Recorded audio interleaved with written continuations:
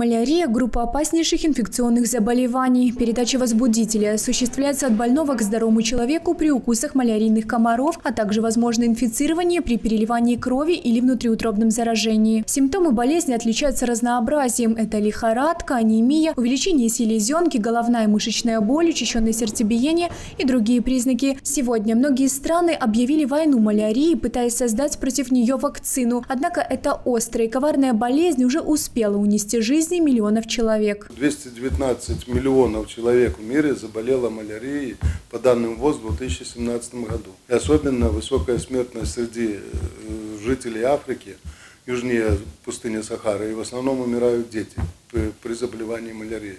Она находится на одном из первых мест в мире по смертности от инфекционных заболеваний это довольно актуально. Лето не за горами. Горячая пора в туристических компаниях уже наступила. Часть населения уезжает на отдых в жаркие страны. Однако при заказе путевки следует обезопасить себя, обращать внимание и избегать поездок в те регионы, в которых вероятность заражения тяжелым тропическим заболеванием высока. Страны Африки и Азии, Южной Америки, побережье Красного и Средиземного морей, а также в Республике Закавказье. При покупке тура человеку всегда выдается полис медицинского страхования. И мы консультируем каждого туриста, как пользоваться этим полисом.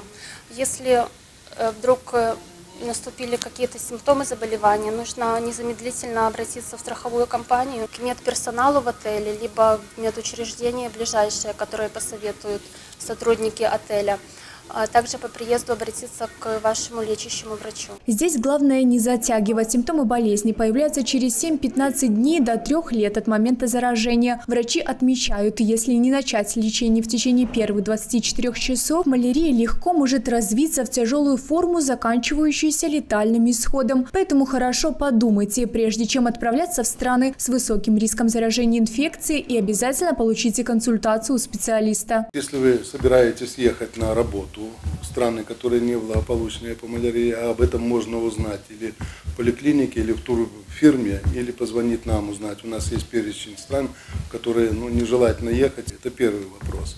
Второй вопрос, если вы туда едете надолго, значит посоветоваться с инфекционистом в поликлинике о назначении химиопрофилактики с целью именно предупреждения заболевания при укусах комаров в данной стране.